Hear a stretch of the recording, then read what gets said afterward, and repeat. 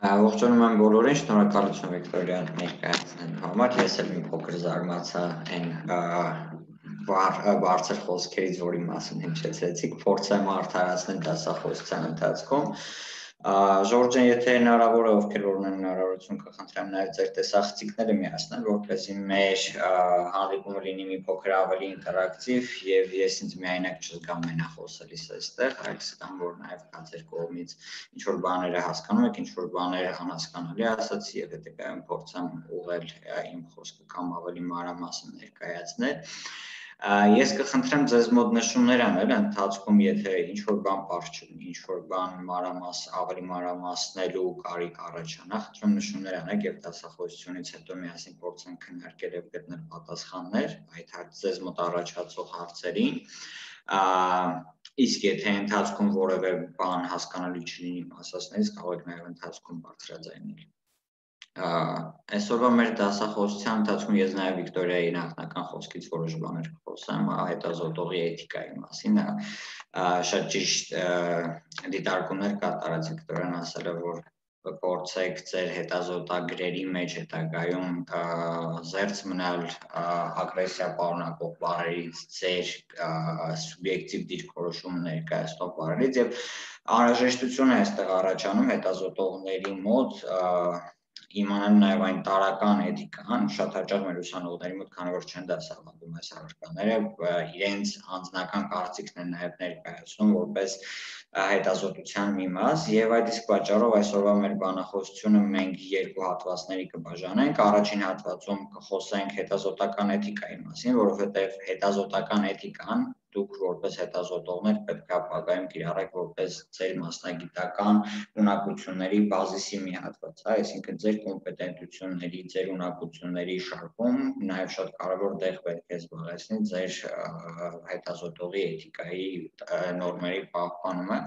եւ երկրորդ մասում արդեն անդրադարձ կատարենք հետազոտության պլանավորման այսպեսի մի բան կա, չէ, ասում են Ֆրանսիայում լույս է տեսնում 20 ջանոց բրոշուր, որում գրված է ամեն ինչ փղի մասին, իսկ Հնդկաստանում լույս է տեսնում 8 հատորանոց շարք, որտեղ գրված է որոշ բաներ փղի մասին։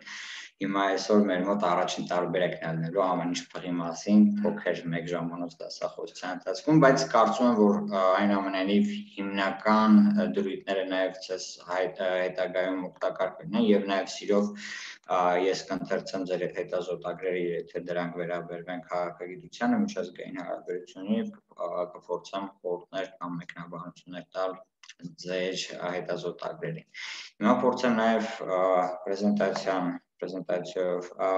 կարող եմ խնդրել, որ ինձ մոտ տակ դեպի էկրանը շեյր անելուն, որովհետև չի լինում սորտը։ Ահա, վերջացած։ Հուսամ ձեզ մոտ երևում է, չէ՞, հիմա պրեզենտացիան։ Այո, երևում է։ Սկսեցինք ուրեմն այդ բարակայում Նա փորձենք ներկայացնել, թե ինչ է իրենից ներկայացնում հետազոտությունը եւ ինչով է դա տարբերվում մեր կարծիքից եւ թե ինչպես մեր կարծիքը կարող է դառնալ,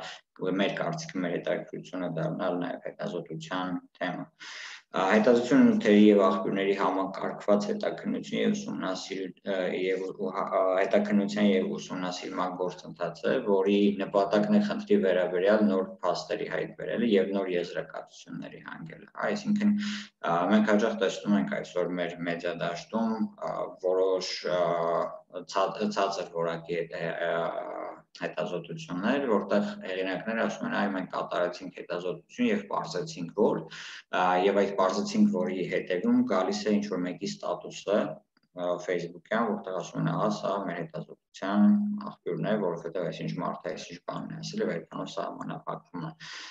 Իրականում, եթե մենք կատարում ենք հետազոտություն, մեր խնդիրը պետք է լինի որևէ խնդրի վերաբերյալ ստեղծել նոր գիտելիք եւ ոչ թե վերհանել այն ինչ որ արդեն իսկ գոյություն ունի, այսինքն մեր նպատակը մեր կողմից նոր գիտելիքի ստեղծումն է հետազոտության շրջանակներում հետազոտություն կատարելու նպատակները պետք է մենք ինքներս հասկանանք։ Հա, առաջին հերթին դա հանրության, թե ինչ է տալիս հանրությանը մեր հետազոտությունը եւ թե ինչ է տալիս մեզ մեր կատարած հետազոտությունը։ առաջին հերթին պետք է հասկանալ, որ մարդու ճանաչողական կարիքների հիմնական հիմքը դա մարդու հետաքրքրասիրությունն է եւ անհրաժեշտությունն է նոր գիտելիք ձեռք բերել սրա հիման վրա է որ առաջանում է թե գիտական առաջընթաց եւ թե առասարակ մարդկության առաջընթացը եւ մեր հետազոտության թեման ընտրելիս շատ կարեւոր է որ ընտրենք այնպիսի թեմա, որը մեզ համար հետաքրքիր է եւ մեր հետաքրքրասիրությանը այդպիսով նաեւ բավարարում տանք թեմայի հետազոտության շրջանակներում եւ երկրորդը որպեսզի մենք այսպես ասած էմպիրիկ թեմա հետազոտենք, քանի որ հիմնականում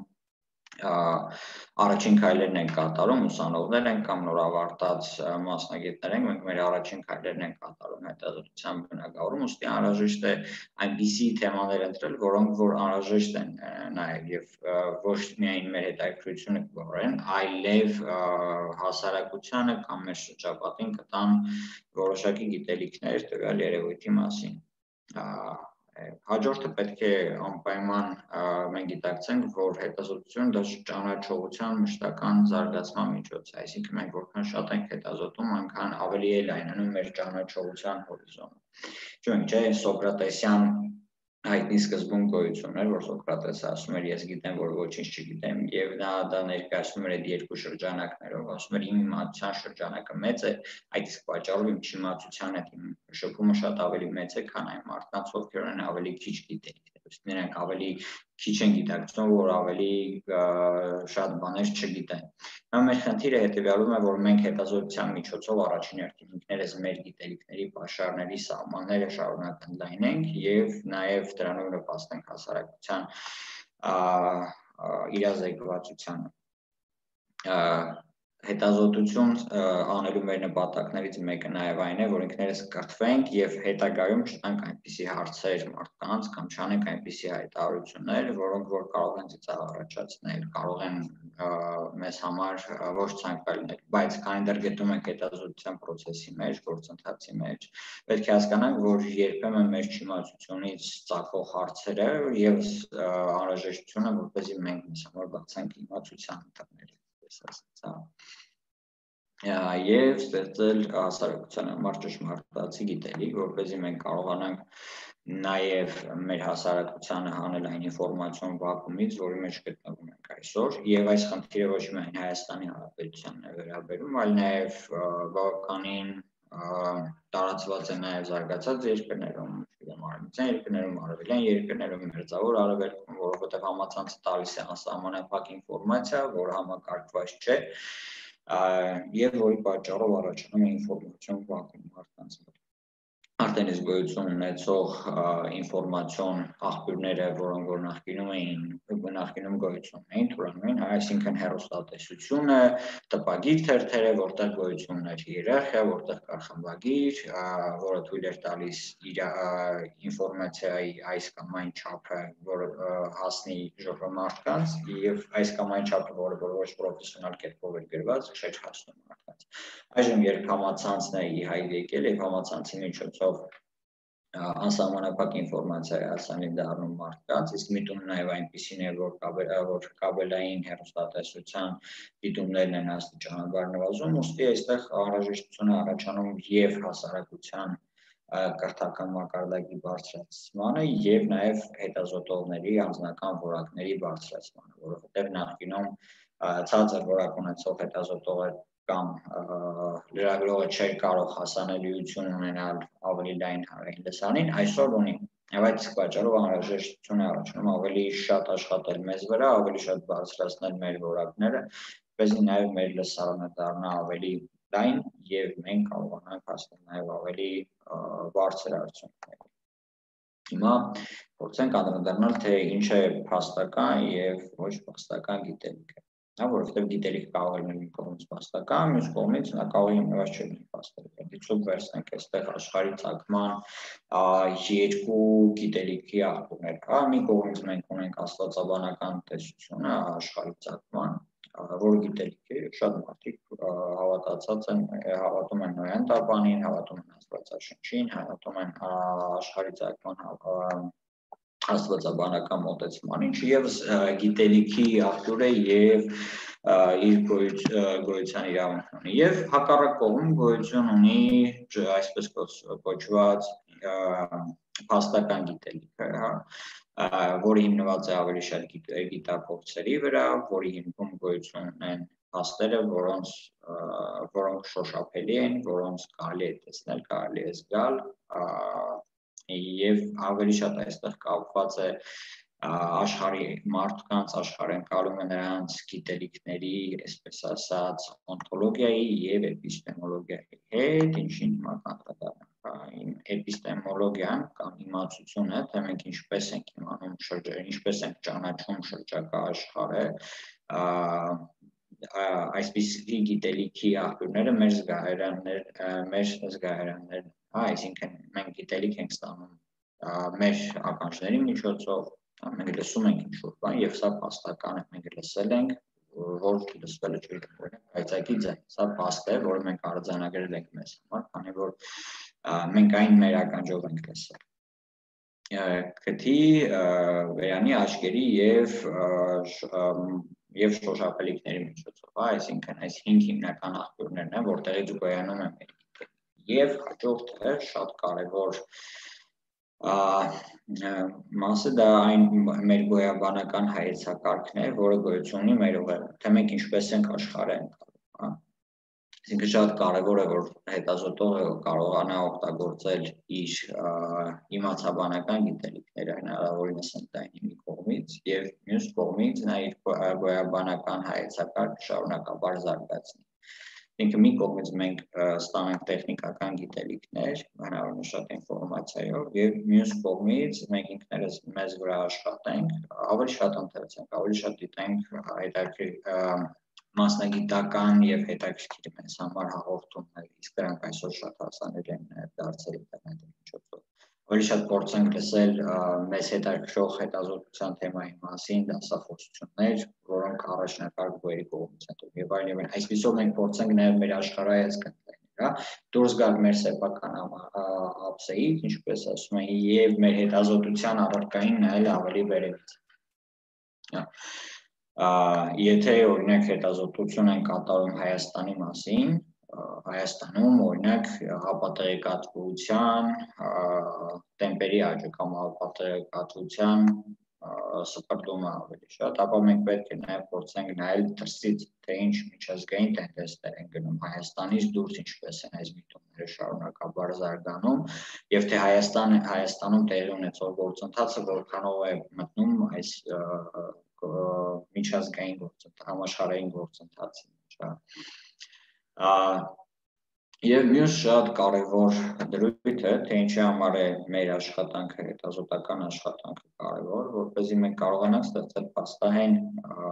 գիտելիքներ եւ այդպիսով նաեւ կանխարգելենք բամբասանքի տարածումը։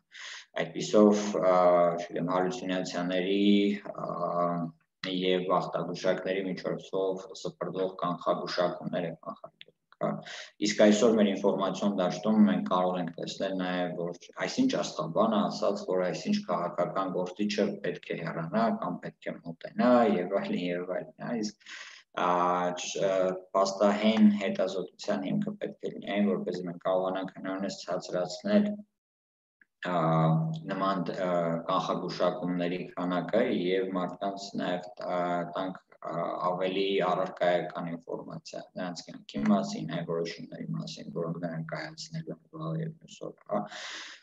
որովհետեւ եթե այստեղ ձեր օրինակ ձեր հետազոտությունների թեման պետք է հավանաբար կառնչվի նաև վիրտուալ ատելության խոսքին, մեդիա մանիպուլյացիաներին եւ մեդիա մանիպուլյացիաների միջոցով այսօր Հայաստանի որոշ սահմանամերձ համայնքներում առաջացել է շատ վատ իրավիճակ, օրինակ Շեմիքի մարզում, որտեղ մարդիկ չեն կարողանում պլանավորել իրենց վաղվա կյանքը, չեն կարողանում ներդրումներ կատարել, չեն կարողանում, այսինքն ոչ թե ֆիզիկապես չեն կարողանում, այլ իրենք անկախատեսելի են համանում եւ մտածում են որոշ մարդիկա իմ անձնական փորձից կարող եմ ասել, որ ասում են, որ ահա գուցե վաղը նաև Գորիսը պետք է զիջենք ադրբեջանցիներին, ես իմ հյուրատունը չեմ կառուցելու, մյուսը ասում է, որ ես խանութ էի պատրաստում կառուցել, բայց չեմ կառուցելու, որովհետև շշուկներ կան, որ նաև Սյունիքն են տալու, չգիտենք ինչ կարգավիճակ են ունենալու եւ այլն եւ այլն։ Այսինքն նմանատիպ մեդիա մանիպուլյացիաները հասնում են նաև մեր սահմանամերձ համայնքներին եւ առարկայական ազդեցություն են տանում Հիմա շատ կարևոր որ մենք հասկանանք ոչ միայն հիպոթետիկ, թե փիլիսոփայորեն ինչ վատ կողմեր ունի, այլ նաև թե առարկայական ինչ վատ ազդեցություն է թողնում մեդիա մանիպուլյացիան այսպես ասած սուրճի բաժակով սուրճի բաժակ նայող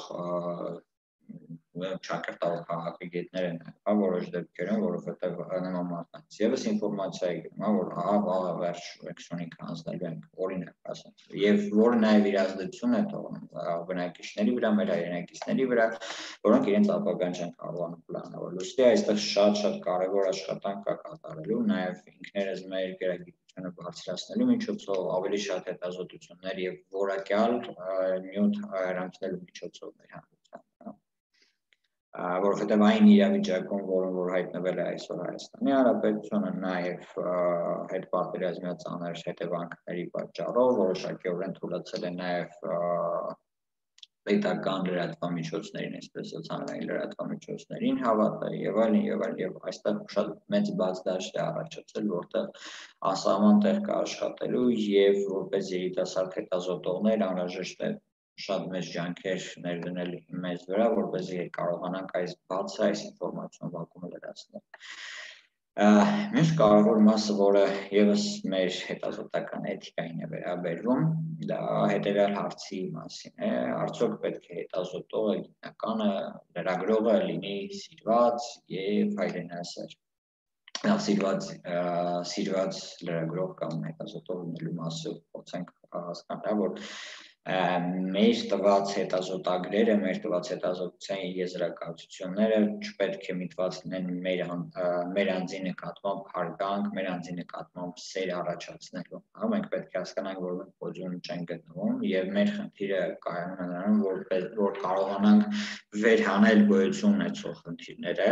եւ այդ խնդիրները հասնել կամ այն նպատակային կառույցներին, որոնց որ թիրախավորել են անկախ նրանից թե ինչ կարող, հա, ձեր հետազոտագրի թեմա թիրախը կարող է հանդիսանալ, չգիտեմ, ճանապարհի վերակառուցումը, որը որ պետք է իրագործի համայնքապետարանը եւ ընդհանուր միջև, չգիտեմ, սահմանային անվտանգության նորմերի ավելի բարձրացմանը, որը պետք է միտված լինի կառավարության եւ պաշտպանության նախարարության հետագայում, անհրաժեշտ է կամ հարության ավելի լայն շերտերի կամ կոնկրետ հարության X կամ Y շերտին, հա պետք է հիշենք, որ մեր հետա մեր հիմնական գործառույթը դա մեր պարտքի կատարումն է։ Եվ մյուսը պետք է արդյոք լինի հայրենասեր հետազոտողը կամ գրագրողը թե ոչ, ըստ իս հետազոտողի լրագրողի հայրենասիրությունը կայանում է նրա պրոֆեսիոնալիզմի մեջ, եթե նա իր հետազոտության ընթացքում վերանել է որևէ խնդիր եւ այդ խնդրի պատճառներն է հասկացել, նա պետք է անպայմանորեն օբյեկտիվորեն ներկայացնի, որ ահա գոյություն ունի այսպիսի խնդիր եւ այս խնդրի լուծման համար անհրաժեշտ է կատարել XY կամ Z քայլերը կամ չասի կամ եթե չի կարողացել վերանել լուծումները, գոնե տեղեկացնի, որ այ ես այսպիսի հետազոտություն եմ կատարել եւ վերանել եմ որ գոյություն ունի նման խնդիր եւ ոչ թե փողոցի թաքցնել այս խնդիրը միևնույն ժամանակ գոյություն նաև հակառակ միտում, հա։ Ցես կարող է հետաքրել որևէ երևույթ, որի մասին դուք ունենաք կանխավարկված, որ ահա, չգիտեմ, օրինակ, կոռուպցիայի պատճառով չի վերականգնվել, օրինակ, խնձորեսկի ճանապարհը կամ չի կառուցվել խնձորեսկի ճանապարհը եւ դուք սկսեք հետազոտություն կատարել եւ հասկանալ որ ամենևին են կոռուպցիայի մեջ չէր խնդիրը որ այստեղ խնդիրները շատ ավելի լայն ու ավելի խորն էին ավելի համակարգային էին չգիտեմ հա օրինակ այստեղ լուծումը նրա խնդրի պատասխան նրա մեջ էր որ գոյություն ուներ օրինակ ինչ որ բյուրոկրատական խոչընդոտ եւ այդ բյուրոկրատական խոչընդոտի պատճառով չի հաջողվել ժամանակին վերակառուցել ճանապարհը կամ համայնք չուներ բավարար ֆինանսական միջոցներ կամ հաշվարկողը իր պարտականությունները կատարելիս դավ չէր կատարել, թերացել էր եւ արդյունքում չէր բավարարել բյուջեն, որպեսզի վերականգնեին կամ եղանակային պայմանները թույլ չէին տվել։ Այսինքն համակողմանիորեն փորձենք ուսումնասիրել եւ ներկայացնել ճշմարտացի փաստային պատասխան։ Հաջորդ մի քանի կետերը, որոնք որ անհրաժեշտ են հետազոտողին, որպես իր հետազոտական էթիկայի պահպանման, փորձենք բոլորի անդրադառնալ եւ այս բոլոր կետերից պետք է փորձենք որպես հետագա պրոֆեսիոնալ հետազոտողներ խուսափել լինի դա ակադեմիական կյանքում, թե լինի լրատվական կյանքում։ Առաջին հերթին պետք է հետազոտողները փորձեն խուսափել խարդախությունից, այսինքն որևէ պարագայում չգնալ պայմանավորվածությունների, անկախ նրանից թե կլինի մեր բարեկամը, մեր ծանոթ եւ այլն, եթե մենք գտել ենք որևէ խնդիր, ապա անհրաժեշտ է այն անպայմանորեն վերանել եւ չմանիպուլացնել նաեւ միաժամանակ, հա, եթե օրինակ, չգիտեմ, մենք հետազոտում ենք մի երևույթ, որ ներգրաված են մեր կողմից ոչ սիրելի մարդիկ, կամ պետք է խուսափել խանդախություն կատարելուց եւ անպայմանորեն ճշմարտություն ներկայացնել, որը որ դուք գտել եք։ Հաջորդը դա կիսաճշմարտություններից խուսափումն է, այսինքն մենք ունենք x եւ y երևույթներ, որից մենք կատարում ենք z եզրակացությունը, որը չի անպատասխանում իրականությանը։ Այստեղ փորձեմ երկու օրինակ բերել, հա, որոնք որ ավելի շատ քաղաքական բնույթ ունեն եւ տարբեր ժամանակներում մանիպուլացվել են մեդիայի կողմից։ Առաջինը 2002 թվականի, եթե չեմ սխալվում, 2001-2002 թվականների հանդիպումներից մեկից է, երբ Հեյդար Ալիև եւ Հայաստանի այն ժամանակվա նախագահ Ռոբերտ Քոչյանը Հայաստանի սահմանամերձ Հայաստանի եւ Ադրբեջանի սահմանների միջակայքում Տավուշի եւ Ղազախի շրջանների միջակայքում հանդիպել էին եւ դրանից հետո մեր այն ժամանակ տպագիր թերթերից մեկում հոդված է լույս տեսնում, որտեղ ասում է հետեւյալը Ռոբերտ Քոջարյանն ու Հեյդար Ալիևը ջերմ ողջագուրվեցին հանդիպման ժամանակ դրանց տիկնազորների պետերը առանց ջերմ առանձնազրույց ունեցան եւ ըստ այդմ բերում էր եզրակացություն որ հողերը ծախեցին իրականում բարձում է հետագա ինչպես արդեն մյուս լրագրողներն էին կատարել զոտությունը որ իրականում այո տեսնվել էին ողջակ ողջագուրվել էին, կարային մորթել, եթե չեմ սխալվում, միասին կամ պայմանավորվել էին, որ պետք է կար մորթեն եւ առանձնազրույց էին ունեցել։ Հետագայում բարձում է նաեւ որ նրանց երկուսի տիկնազորի պետերը ժամանակին համագյուղացիներ եւ համադասարանցիներ են եղել եւ այդտեղ առաջին անգամ պատերազմից հետո տեսնվել եւ միմյանց հետ զրուցել, բայց այս երկուսի հիման վրա կատարել երրորդ երկու փաստի վրա հիմնվելով կատարել եւ երկու փաստերը խեղաթյուրելով կատարել երրորդ եզրակացությունը, որ ահա օրերը ծախեցին, այնքան ճիշտ չէ կամ կիսաճշմարտությունների հիման վրա կատարված եզրակացությունը նույնը նաև հիմա երբ վերջերս լայնորեն այդպիսի մանիպուլյացիաներ առաջացել որ ահա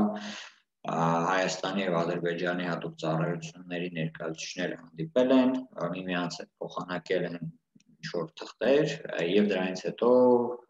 Ղարաբաղը Հայաստան հայերը մեր իշխանությունները ցածր հա դարձյալ այստեղ չիմացության հիման վրա փորձում ենք ներկայացնել կիսաճշմարտությունների հիման վրա ստեղծված եզրակացություն այսինքն այն որ հանդիպել են հա փաստ է որ որը որովհետեւ նաև հաստատեցին այդ հանդիպումները որ որոշ թղթեր են փոխանակել եւս հաստատեցին բայց որևէ ապացույց չի բերում որ որևէ բան ծախ վաճառեցին Այսինքն այսպիսի բնդումներից կիսաճշմարտություններ ներկայացնելուց անհրաժեշտ է խոսապել մեր հետազոտությունների ընթացքում։ Երրորդը դա հերյուրանքն է եւ սա եւս կարծում եմ բարձ է եւ անհրաժեշտ է մշտապես խոսապել։ Չորրորդը դա տվյալների կեղծումն է, եթե դուք ձեր հետազոտության ընթացքում բարձել եք, որ ձեր նախնական օրինակ կանխավարկածը սխալ էր եւ փորձում եք անպայմանորեն ապացուցել, որ ահա ես ճշմարտացի եմ եւ դրա հիման վրա տվյալներ եք կեղծում, ապա ձեր հետագա ամբողջ կարիերան վտանգի տակ եք դնում։ փոքրիկ օրինակ կարող եմ բերել, հա, այսինքն օրինակ դուք դիմում եք X կամ Y լրատվական գործակալությանը կամ դրա մասնորին եւ ձեր նախնական առաջարկի մեջ ներկայացնում եք, որ ահա չգիտեմ օրինակ դարձել այդ կոռուպցիոն սխեմայից, հա, որը հա Վանաձորի ճանապարհները օրինակ չեն չեն վերանորոգվում, որովհետև հատկացված միջոցները խարդախության ճանապարհով յուրացվել են տեղական պաշտոնյաների կողմից եւ հետագայում դուք իրականացնում եք հետազոտություն, բարձում եք որ ոչ ձեր նախնական կանխավարկածը դարձյալ սխալ էր եւ բարձում է որ օրինակ Վանաձորի ճանապարհները չեն վերանորոգվել, որովհետեւ առաջացել է օրինակ բանկի կողմից տրվող վարկի, որ այդ վարկի միջոցով պետք է վերանորոգվեին, հետաձգում, պետք է այդ վարկը տային 1 ամսվա ընթացքում տալու 6 ամսվա ընթացքում այդ պատճառով չի վերանորոգվում ճանապարհը եւ այլ եւ այլ։ Եվ այսպիսով պետք է խուսափեք անպայմանորեն տվյալների կեղծումից հանուն նաև ձեր նախնական կանխավարկածի արդարացված ձեր նախնական քաղաքավարված արդարացնել։ Մյուսը, մյուս կարևոր բաղադրիչը դա գրագողությունից խուսափելն է։ Եթե դուք անգամ վերցնում եք որևէ աշխատությունից մաս, ապա անպայմանորեն ում տվեք, ասեք, որ այսինչ հեղինակի, այսինչ հոդվածում գոյություն էր, հա, այսպեսի պնդում, եւ ես այս պնդում վեր կամ այսպեսի եզրակացություն, ես այս եզրակացությունը վերցրել եմ այստեղից որովհետև եթե ստուգվի ձեր կողմից գրված նյութը, ապա այն անպայմանորեն կվերհանվի, հա, եւ հետագայում նաեւ ձեր հեղինակության վրա բացական ազդեցություն Մյուս կարևոր կետերը դա գաղտնիության բացահայտումն ու վստահության չարաշահումն են։ Եթե դուք օրինակ ունեցել եք այսպես կոչված off the record հանդիպում որևէ փորձագետի հետ, քաղաքականություն մշակի մշակող անձի հետ եւ նա ձեզ որևէ ինֆորմացիա է տվել, բայց խնդրել է որպեսզի դուք այդ ինֆորմացիան չբարձրացնեք, այլ դուք այս ինֆորմացիան օգտագործեք նրա համար, որ ավելի լավ հասկանաք այն երևույթը, որը որ դուք օգտագործում եք, ապա որևէ պարագայում չփորձեք գաղտնիությունը բացահայտել այս մարդու եւ այլ վայրերում ասել, ահա, իսկ գիտեք դուք այսինչ բանն եք ինձ ասել կամ ձեր հետազոտագրի մեջ գրել, որ այսինչ մարդ ինձ խնդրեց որ չասեմ, բայց ես ասում եմ սա եւ կամ առհասարակ, հա, եթե դուք ունեք եթե դա անձնական շփման արդյունքում ձեզ տրված ինֆորմացիա է եւ խնդրել եմ որպեսզի այն չհրապարակայնացնեք, ապա անհրաժեշտ է չհրապարակայնացնել, աղբյուրը նկատի ունեմ անհրաժեշտ է չհրապարակայնացնել, որպեսզի դուք որպես հետազոտող հետագայում կարողանաք այլ մարդկանց հետ եւս աշխատել եւ ձեր վստահությունը չարշավված չլինի։ Ահա, այս մասին նաև փոքր-ինչ ավելի ուշ երբ հետ կանդրադառնանք, երբ հարցազրույցների մասին կխոսենք։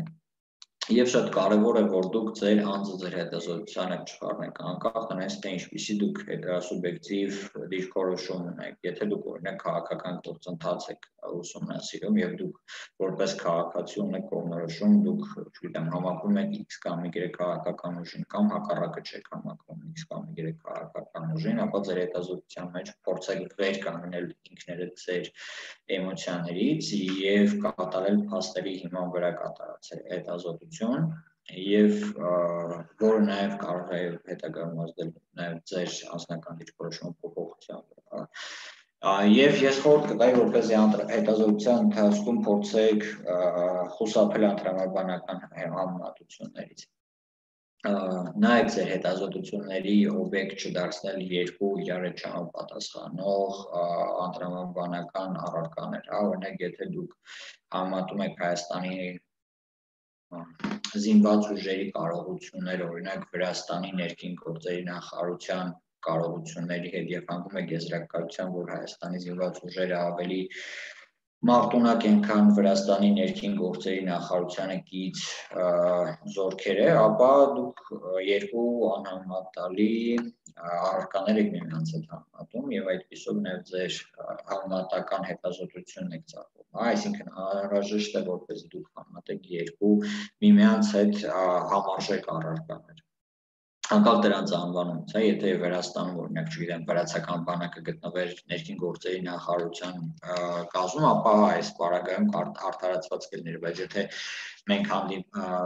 ներքին զորքերը եւ բանակն ենք միմյանց հետ համատության մեջ դնում օրինակ, հա, մենք սխալ եզրակացության կգանք արդյունքում։ Եվ հաջորդ լայնորեն տարածված սխալ դժվար կլինի կոչել դա, բայց նաև ոչ ճիշտ մոտեցումը դա կեղծ հավասարության նշաններ դնելու մեջ է կայանում, որ երբ որ հետազոտողները փորձում են երկու օրինակ կոնֆլիկտի մեջ գտնող երկու կողմերին հավասարապես դիտարկել, այդպեսով փորձելով ներկայանալ շատ ավելի օբյեկտիվ, սակայն արդյունքում ստացվում է որ նրանք սուբյեկտիվ եղան, հա, օրինակ դիցոք այստեղ Ղարաբաղյան հակամարտություն մեզ ավելի ծանոթ օրինակ փորձանվել, հա, Ղարաբաղյան հակամարտությունը լուսաբանող շատ լրատվամիջոցներ փորձում էին պահպանել վերջին իրադարձությունների ժամանակ փորձելով պահպանել իրենց այսպես ասած անաչառությունը կատարում էին հավասարեցման նշան, որ ահա ադրբեջանցիները հարվածեցին Ստեփանակերտին, հայերը հարվածեցին, չգիտեմ, Բարդային, ադրբեջանցիները այստեղ մարտական գործողություններ կատարեցին հայերը այստեղ, այսինքն երրորդ կողմին ձեր լսանի, որ միջազգային լրատվամիջոցների լսանի դրալ բառակայում, որը այնքան էլ ծանոթ չէր հակամարտության պատմությանը եւ կոնֆլիկտի վերսկսման պատմությանը, նրանց մոտ առաջանում կարող է առաջանալ տպավորություն, որ երկու կողմերն էլ մեծաշուտ մեղավոր են եւ այստեղ այնպիսի տպավորություն է ստեղծում, որ գոյություն ունի հարցակվող կողմ եւ պաշտպանվող կողմ։ Այսինքն ձեր իմացությունը առարկայի վերաբերյալ պետք է լինի այնքան խոր է, որպեսզի դուք կարող ի վիճակի լինեք կարողանաք նաև ձեր լսանին ներկայացնել այնպիսի պատկեր, որը որ նրանց մոտ կստեղծի ճշմարտացի գիտելիք, հա, եւ ոչ թե միմյանց հավասարացնել երկու կողմերին, այլ տալ ավելի շատ տվյալներ, թե ինչի համար վերսկսվեցին գործողությունները կամ եթե դուք վստահ եք, որ չգիտեմ, հարցակվող կողմը մեր պարագայում Ադրբեջանն էր, ապա այս մասին եւս բարձրացնել եւ ոչ թե ասել, որ ադրբեջանցիները ասում են մենք հակա հակագրով են կազմակերպել եւ առաջ այն ինչ կարող է շփոթություն առաջացնել։ Այսինքն կերտ հավասարության նշաններ դնելուց եւս որոշակիորեն անհրաժեշտ է խոսալ կամ ձեր հետազոտության մեջ, եթե դա լրատվական հետազոտություն է, փորձեք տալ հիմքը եւ դրա այդ հիմքից հետո փորձեք միայն ձեզ ներկայացնել որպես ոչ թե ներկայացնել, այլ պահպանել ձեր չեզոքությունը, բայց տվեք հաստացի տվյալներ։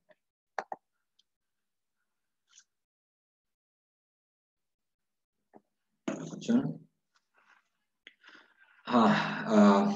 հետազոտության մեթոդաբանություն մշակելիս պետք անպայմանորեն ուշադրություն դարձրեք, որ ձեր հետազոտության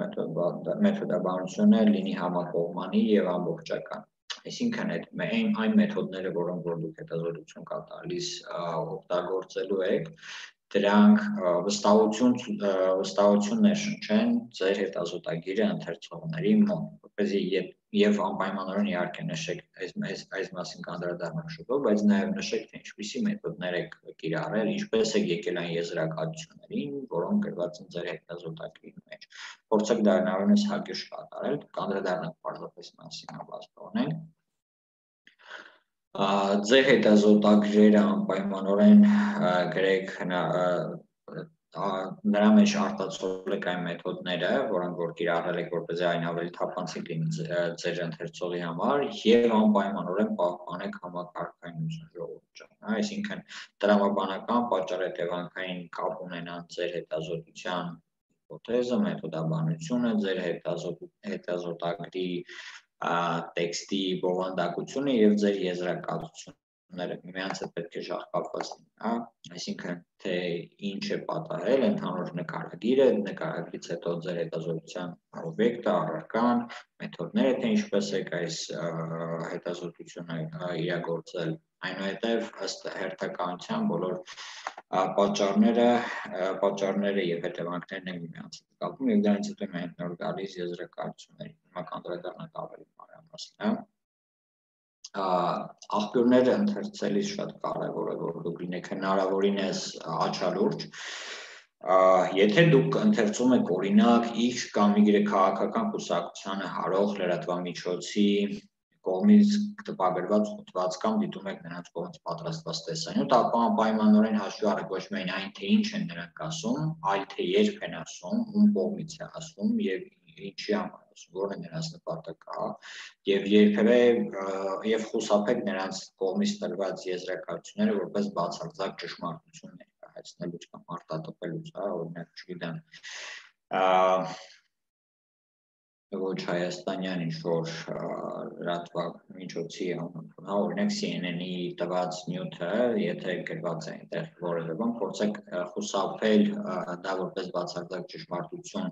ներկայացնելուց, այլ նաև փորձեք հասկանալ թե ինչի համար է տվել, ով է այն լրագրողը վերջի վերջո, որը որ տպում է կամ պատրաստում է տվյալ նյութը, ինքը ինչ շահագրգռվածություն ունի, նաև երբ հարցազրույցներ եք կատարում, այ ապագայում որպես հետազոտողներ թե որպես լրատվական, թե նաև ակադեմիական դուք հետա ձեր հետազոտությունների շրջանակում կատարելու եք հարցազրույցներ եւ հարցազրույցների ընթացքում ուշադրություն դարձրեք ոչ միայն նրան, թե ինչ են ասում օրինակ այս քաղաքական ուժի ներկայացուցիչը, դիցուկ օրինակը վերցնենք քննական օրենսգիրքը, հա, X քաղաքական ուժի ներկայացուցիչը ասում է, որ ահա Հայաստանի համար լավագույն ընտրական օրենսգիրքը դա համամասնական ընտրական օրենսգիրքն է սա որպես ճշմարտություն չեն կարող ներկայացնել եւ անհրաժեշտ է նաեւ այստեղ ներկայացնել թե ինչու է հա այս մարդը ասում որ համամասնական ընտրական օրենսգիրքը լավագույնն է դրա համար պետք է նաեւ ընթերցել թե ինչի է հանգեցնում օրինակ համասնական օրենսգիրքը կամ մեծամասնական օրենքների կիրառումը ընտրական, հա, ինչպիսի կուսակցություններին է ձեռնտու որ համասնական ընտրակարգ գոյություն ունենա, ինչպիսիներին է ձեռնտու որպես մեծամասնական ընտրակարգ տեղի ունենա եւ թե եւ դրա հիման վրա նաեւ մեր եզրակացությունները բաց կլինի, թե ինչու ահա այս կուսակցությունը ուզում որպես մեծամասնական ընտրակարգ, մյուս ուզում որպես համասնական ընտրակարգ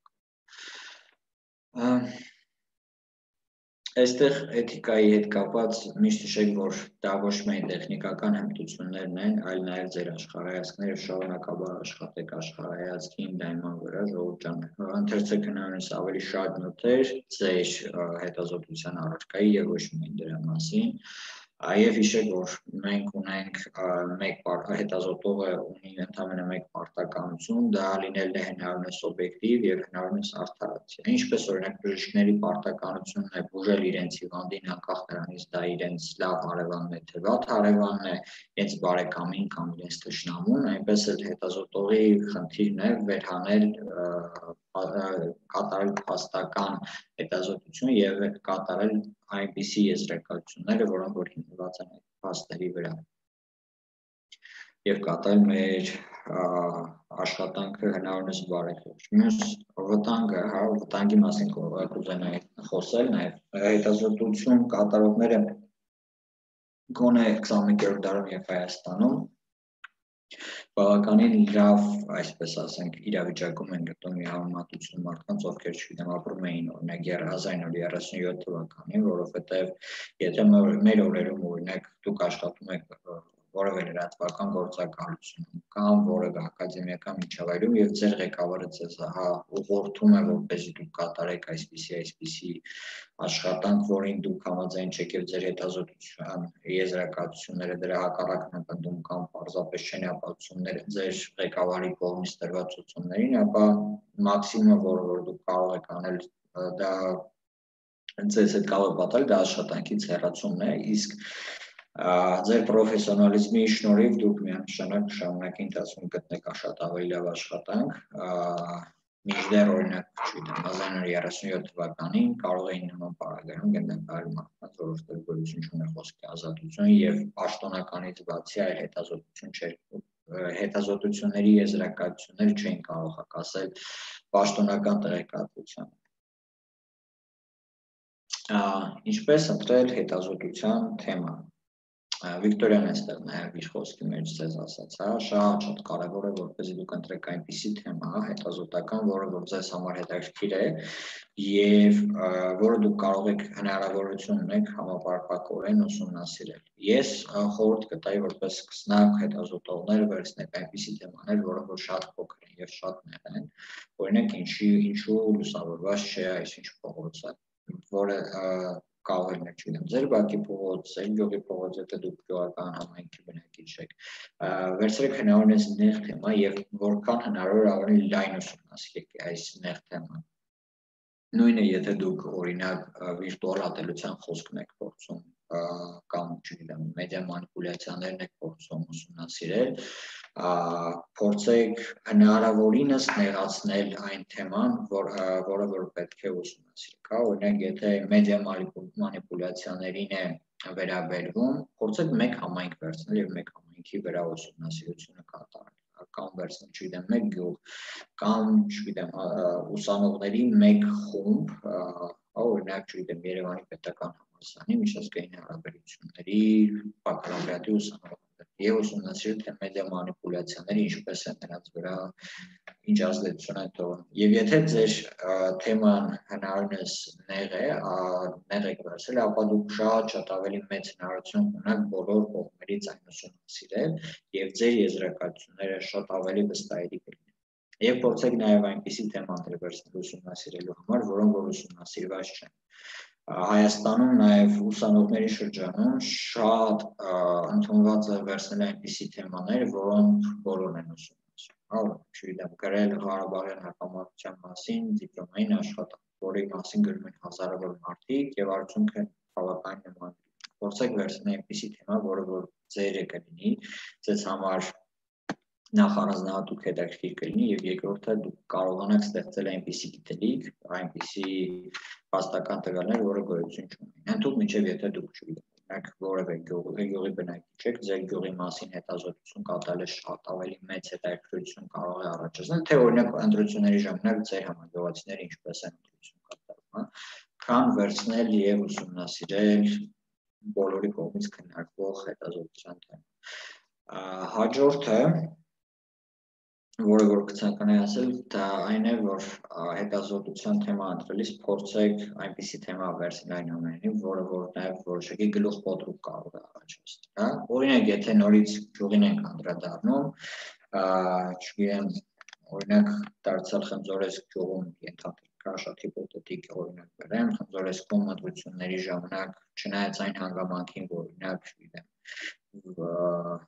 Գևորգ Գևորգյանը ուներ ամենաշատ բարեկամները գյուղում, նա նրան չհաջողվեց հաղթել ընտրություններում։ Հա, այսինքն եթե մեզ մոտ ընդունված է, հա, տեսությունը, այսպես ասած, ասում է, որ ընդհանուր երևույթը այսպեսին է Հայաստանի գյուղերում հաղթանակ են տանում ընտրություններում այն տեխնացուները, որոնք ունեն ամենաշատ բարեկամները։ Հա, Գևորգ Գևորգյանը խնձորեսկում ուներ ամենաշատ բարեկամները, բայց նա պարտություն կրեց Այսինքն այստեղ գլուխ կոտրուկ է, հա, երկու միմյանց հակասող պնդումներ կան եւ սրանց հիման վրա առաջանում է գլուխ կոտրուկ եւ նոր հարց առաջանում, հա, հետազոտական թեմայի հարց առաջանում, չկարող շատ հրաշալի հետազոտության թեմա ես նաև ձեզ խոսք տայի որ իմանալիներ կատարեք եւ այս եւ ձեզ հետաքրող թեմաները կարող ենք հարց պատասխանի ժամանակ քննարկել թե ինչպես կարելի է ձևակերպել ձեր հետազոտական հարցը, որովհետեւ հետազոտության գլխավոր կետը դա հետազոտության գլխավոր հարցն է, թե ինչ հարցի ենք փորձում պատասխանել մեր հետազոտագրի միջոցով։ Ասանք հետազոտության պլանավորման փուլերին,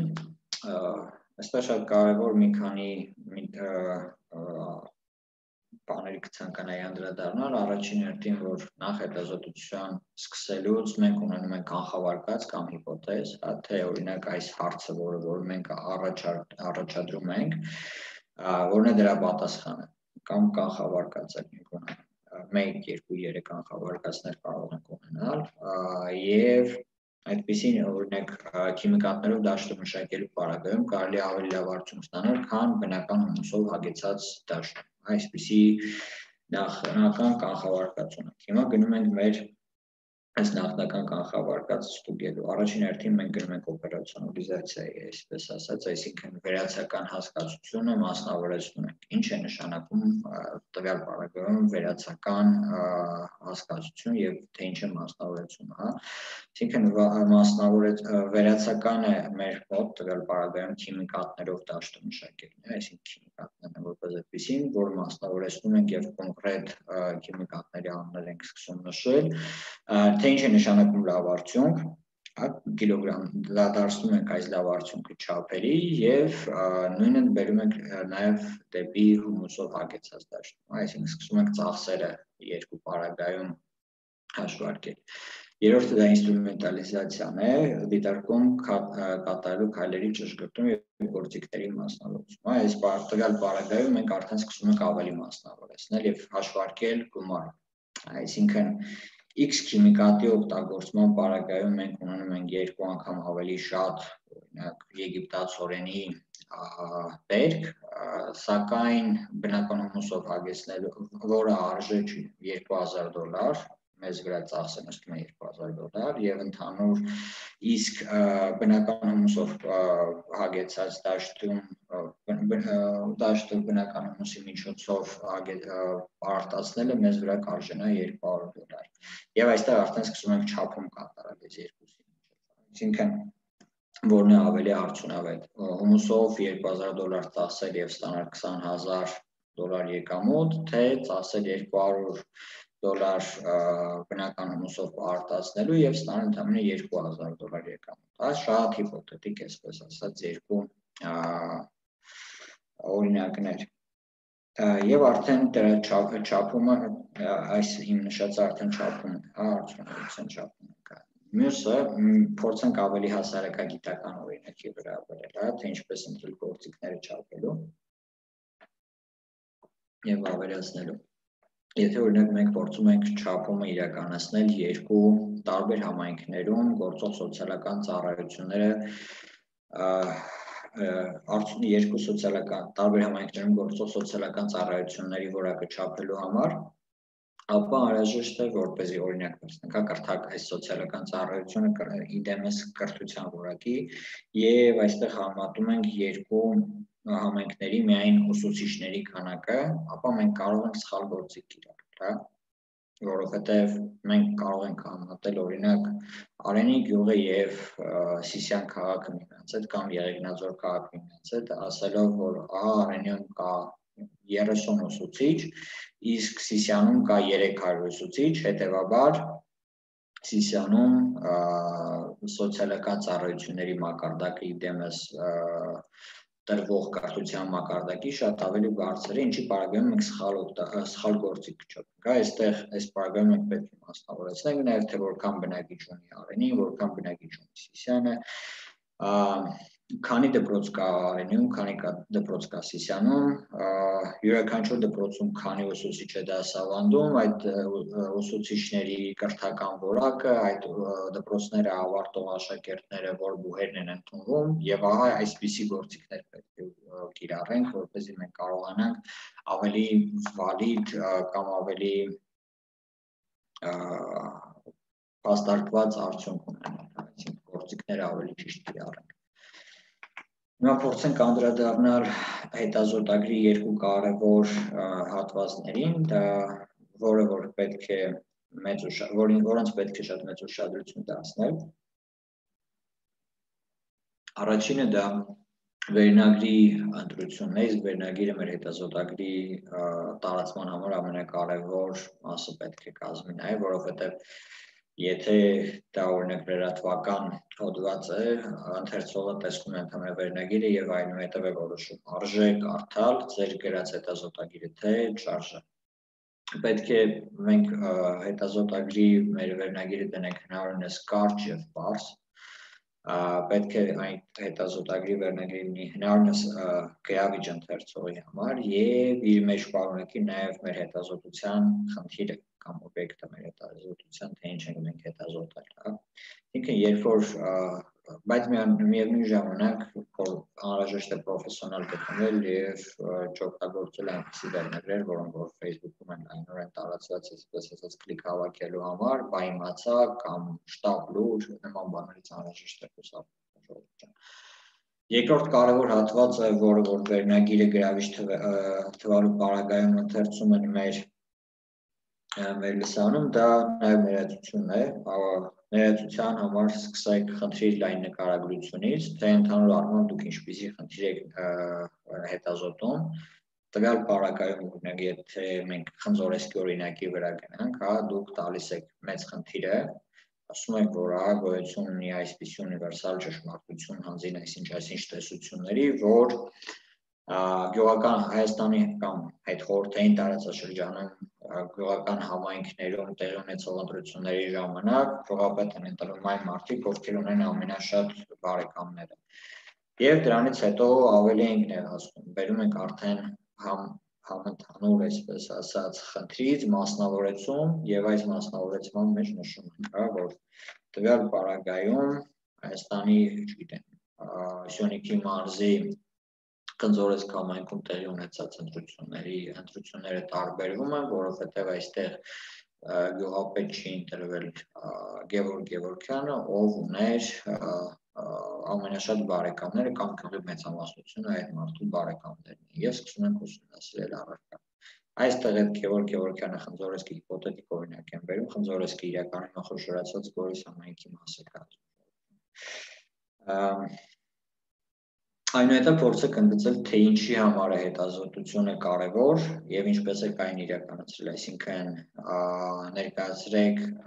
նաեւ մեթոդաբանությունը, այն թե ինչ ինչ է ինչպես է չափել, ինչպես է կատարել ձեր հետազոտությունը, հա, այսինքն Օրինակ գյուղացիների հետ ենք զրուցել, ընթերցել ենք տեսական գրականություն, կատարել ենք ֆոկուս խումբ հետազոտություն, այսինքն գյուղացիներին բերել ենք եւ 8 հոգի միասին քննարկում ենք կամ չգիտեմ հարցազրույցներ ենք իրականացրել տեխնացուների հետ, նրանց նախընտրական ծրագրերն ենք ուսումնասիրել, հարցազրույցներ ենք իրականացրել ոլորտային էքսպերտների հետ, հաշվի ենք առել նրանց կարծիքը մեր հետազոտագրի մեջ եւ այլն Եվ շատ կարևոր է նաև որ ներածության մեջ ձեր բացահայտումներից մի փոքր հատվածներ առեք, որպեսզի ընթերցողին հետաքրքիր լինի, թե դուք ինչ եզրակացության եք եկել, ամբողջ եզրակացությունը չբացելով, այնուամենայնիվ հետաքրքրության ցած գցեք այսպես ասած ձեր ընթերցողի ջանը, որպեսզի նա սկսի ընթերցել, հասկանա թե դուք այս ինչ է կատարվում եւ ինչի արդյունքում ձեր ուսումնասիրության օբյեկտը առանձնացավ համընդհանուր ֆենոմենի։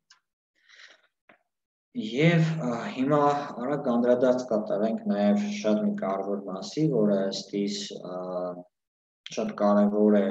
հետազոտողների համար, ովքեր գտնվում են նախնական փուլում, հետա ովքեր նոր են սկսում հետազոտություններ կատարել եւ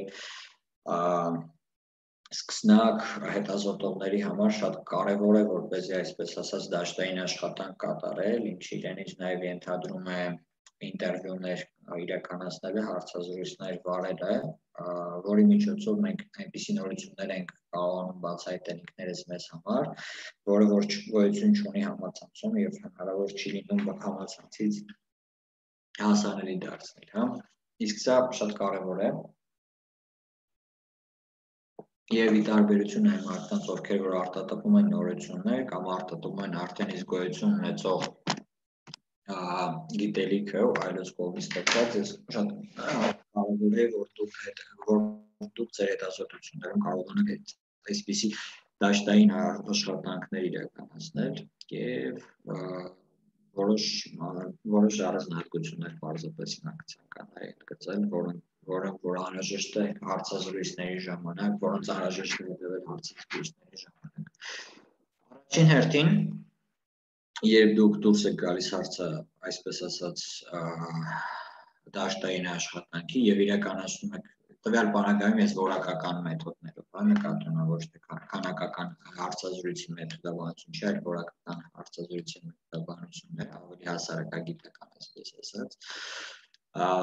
Առաջին հերթին անհրաժեշտ է որպեսզի փորձեք ձեր անձնական կապերը օգտագործեք եւ այդ անձնական կապերի միջոցով գտնեք, եթե դուք օրինակ համայնքային հետազոտություն եք իրականացնելու կամ իրականացնելու եք հետազոտություն օրինակ ազգային ժողովի խմբակցությունների հետ, սկսեք օգտագործել ձեր անձնական կապերը եւ առաջին հարցազրույցի մասնակցին կամ առաջիններին գտնել անձնական կապերի միջոցով, որպեսզի դեպի ձեզ նրանց մոտ լինի հնարավորինս դրական վերաբերմունք, հա եւ առասարակ դա ակադեմիական ունիվերսալ պարադիգմա է, այլ որ եթե ինչ որ մեկի վրա, եթե դուք ունեք ծանոթ օրինակ ձեր համալսարանական մագիստրոսական թեզի ղեկավարը, ով գիտությունների դոկտոր է եւ հարգանք է վայելում օրինակ ազգային ժողովի խմբակցությունների մոտ, նրա վրա հող կատարելով կամ նրա կապերը օգտագործելով փորձեք առաջին հարցազրույց իրականացնել Եվ տվյալ բaragայում փորձենք հասարակագիտական ավելի ձեզ ավելի հասկանալի երևույթի վրա հենց ազգային ժողովի վրա վերցնել եւ օրինակ ընտրական օրենսգրքում փոփոխությունների թեմայի վերաբերյալ ֆոկուսը մեր հա Առաջին հերթին հնարավորություն օգտագործում ենք մեր ծանոթներին եւ նրանց կապերի միջոցով ենք հարցազրույցի մաս հարցազրույցի մասնակիցների հետ կապի դուրս գալիս եւ կամ նրանց վրա հողում ենք տալիս, եթե մեյլով ենք փորձում կապվել մեր հարցազրույցի մասնակիցների Հարցազրույցի ընթացքում փորձում ենք լինել հնարավորինս բարյացակամ եւ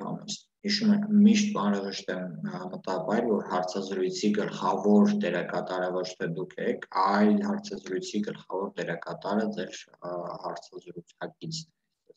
հա։ Դուք նրան պետք է մաքսիմալ հնարավորություն տաք, որպեսզի նա շատ խոսի Եվ եթե օրինակ ձեզ համար շեղում է կատարում ձեր տված հարցից եւ սկսում է խոսել մի այնպիսի երևույթի մասին, որը որ դուք հաշվի չէիք առել ձեր օրինակ հարցացուցակը կազմելիս, ապա հնարավորություն տվեք որպեսզի արտահայտվի մի ընդհատեք, հա, այսինքն հնարավորինս շատ ինֆորմացիա փորձեք ստանալ եւ հիշեք, որ նա է գլխավոր դերակատարը, իսկ դուք լինելու եք ձեր հետազոտագրի գլխավոր դերակատարը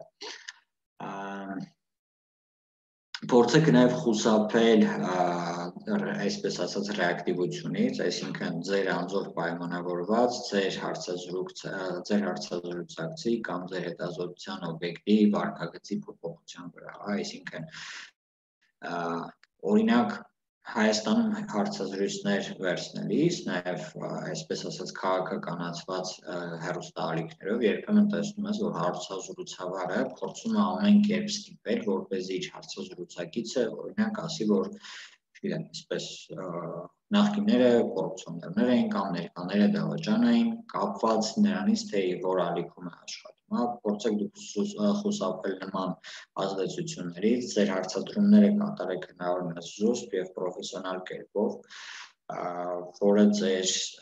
ձեզ հնարավորինս ավելի շատ հնարավորություն կտա ավելի անաչառ հետազոտելու եւ ավելի անաչառ ինֆորմացիա ստանալու եւ չազդելու ձեր հարցազրույցակցի մտքերի վրա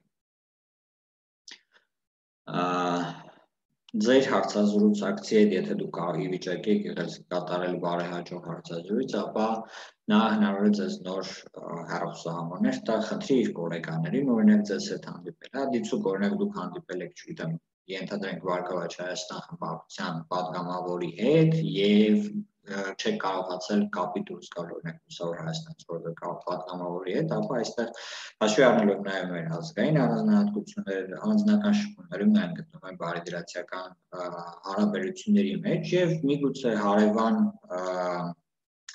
աշխատասենյակից իր գոլեգային եւս խորտա, որպեսզի դուք կարողան կամ նրա կապ նրա հետ նրա եւ ձերի միջև կապ հաստատի, որպեսզի դուք ավելի հեշտ կարողանաք զգալ, փորձեք օգտագործել նաև այս հանգամանքը եւ հարցազրույց եւ այսպես ասած snowball effect-ը կոչվում ինքը անգլերենով, հա, ձնագնդի էֆեկտով ավելի շատ հարցազրույցակիցների հետ կապի դուրս գալ։ Այս մասին մենք անդրադարձանք արդեն մեր ավելի վերևում, հա, որ հարցազրույցակցի խոսքը ոչ միայն դեզոբանական տեսանկյունից ընկալեք, թե նա ինչ է ասում, հա, որ օրինակը բերել էինք մենք ընտրական օրենսգրքի վրա, այլ նաև թե ինչու է այդպես ասում, ինչ լոգիկայով են առաջնորդվում, ինչու են դա նրան ձեռնտու, եթե օրինակ դիցուկ, հա, հիպոթետիկ օրինակ եմ վերում, որպեսզի ավելի բարձ լինի, եթե օրինակ Բարգավաճ Հայաստանում ձեզ Բարգավաճ Հայաստանի ներկայացուցիչ կամ չգիտեմ Լուսավոր Հայաստանի ներկայացուցիչ ձեզ ասում է, որ մենք կողմնակից ենք օրինակ համասնական ընտրակարգին եւ այդ համասնական ընտրակարգն է ճիշտ Հայաստանի Հանրապետությունում, ոչ թե վերցնում եք այս թեզը ասում եք, որ ահա այս թեզը ճիշտ է, որովհետև այսինչ մարդն է ասել է, շարունակում ենք մեր հարցերը, տալիս ենք ենթահարցեր։ Ահա իսկ ինչու է այս ինչ է կարծում, ինչու համար է համասնական ընտրակարգը ձեռնտու Հայաստանի, Հայաստանի Այսինքն տվյալ պարագայում այդ մարդ ներկայացնում է իր կուսակցության կարծիքը, բայց դրա միջոցով դուք փորձում եք լոգիկան հասկանալ, հա, թե ինչու է այս ընտրական օրենսգրքի այս տիպը իրենց համար ձեռնտու։ Հա ու հետագայում բարձում է, որ օրինակ չգիտեմ, ըը վարկաճարը լուսավորի վրա օրինակ բերենք որ ավելի մոտ լինի իրականության, հա, կամ օրինակ Բարգավաճ Հայաստանի ներկայացնում որ մեծամասնական անդրական համակարգ ավելի լավ է Հայաստանի համար, դու կարծում են որ օրինակ այս կուսակցությունը ունի մարզային ուժեղ կառույցներ, ունի ռեսուրսներ, որոնց միջոցով կարող է ավելի շատ ռեյտինգային կամ չգիտեմ մեծամասնական տեխնացումներ բերել։ Իսկ մյուս կուսակցությունը, որը որ ասում է, որ չէ, մենք գտնում ենք, որ համասնական ցուցակներ, համասնական դրակարգներ ճիշտ Հայաստանի համար, հիմնվում է օրինակ իր լիդերի վրա, լիդերի հեղինակության վրա եւ ճունի մարզային կառույցներ, ուստի դրա համար ուզում եմ, որ համասնական ցուցակով գնահատենք։ Այսինքն ձեր հարցազրույցակցի շահերը շահերը եւ այն լոգիկան, որը որ իր մեջ կա, դա եք փորձում նաեւ հասկանալ եւ քանի որ դուք կատարում եք ներկայացուցչական ինտերվյու, այսպես ասած, տվյալ անձի կամ անձանց միջոցով փորձում եք հասկանալ կուսակցության կարծիքը, ու ամբողջացնելու մեջ փորձեք այս այս տրամաբանությունը անպայման հաշվի առնել, թե ինչու էր ասում եւ երբ էր ասում եւ ով էր ասում հարից միտքը Հարցազրույցը սկսելիս շատ կարևոր է, որպեսզի առաջին հարցի ժամանակ դուք կարողանաք լավ կապ հաստատել, այ բարդրացիական վերաբերմունք դեպի ձեզ տրամադրել ձեր զրուցակցի մոտ եւ դրանից հետո արդեն վստահության մտնորդում շարունակվի ձեր զրույցը եւ որևէ պարագայում չլարեք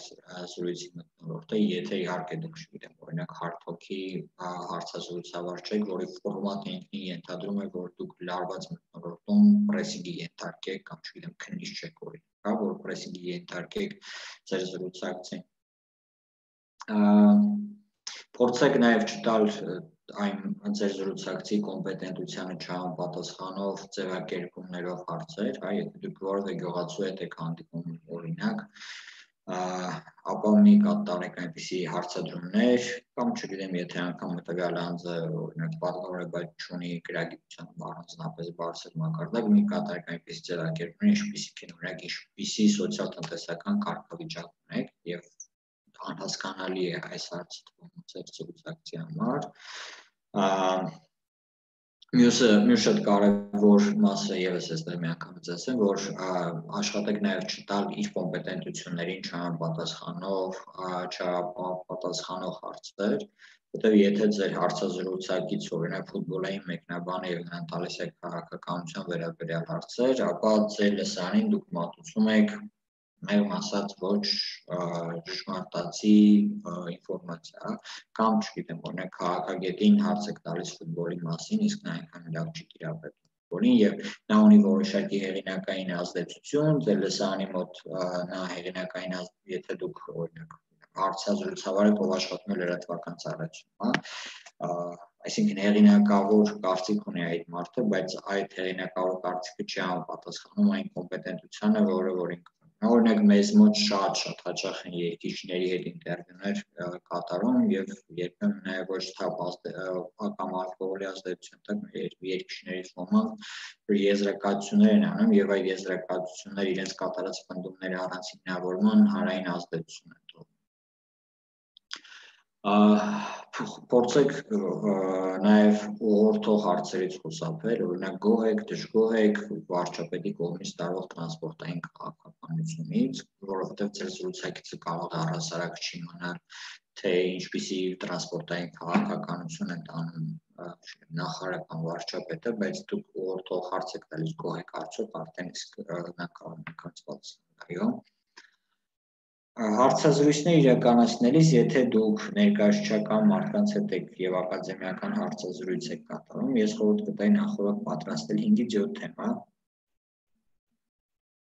այդ 5-ից 7 թեմայի թեմայից բխող հարցեր բնականաբար եւ հարցազրույցը հյուսել այս 5-ից 7 հարցերի շուրջ դու ձեզ մոտ կստացվի արդյունքում մոտ 30-ից 45 րոպեանոց հարցազրույց, որը